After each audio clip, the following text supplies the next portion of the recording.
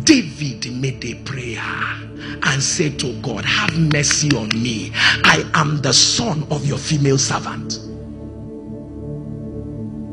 David began to make some serious negotiations with God. He said, My mother served you, so you should have mercy on me because of my mom.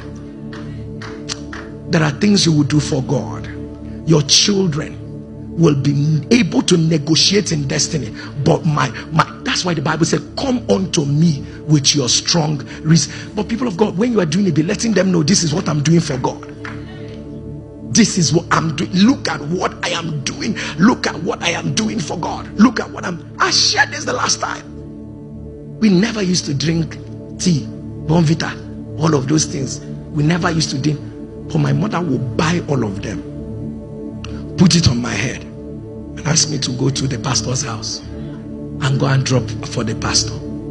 That's how I kept going until one day I asked my mother, How can we not be drinking this thing? Every now and then. Because and let me tell you the shocking part. When I even reach, I know it's my mother that bought it.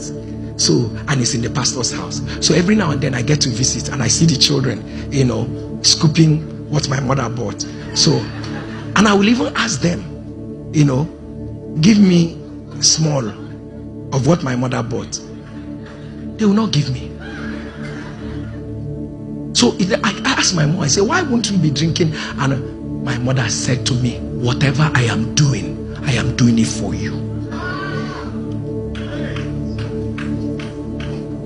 Whatever I am doing, I'm doing it for you. People of God, you see, this destiny was already arranged.